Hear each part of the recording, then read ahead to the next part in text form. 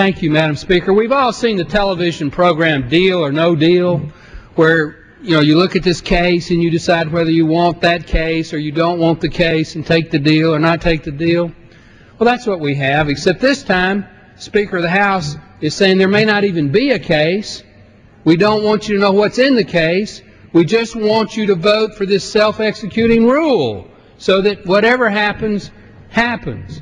Well, that self-executing rule, Madam Speaker, is well named because the people that vote for it are probably going to be victims of their own execution at the next congressional election. Let's have an up or down vote, just as the President has suggested, on a real bill and make people accountable in their congressional districts whether they're for this massive health care bill and government takeover of health care or whether they want to keep the current system of private markets, private initiative, uh, and uh, uh, the, uh, the market-based healthcare system.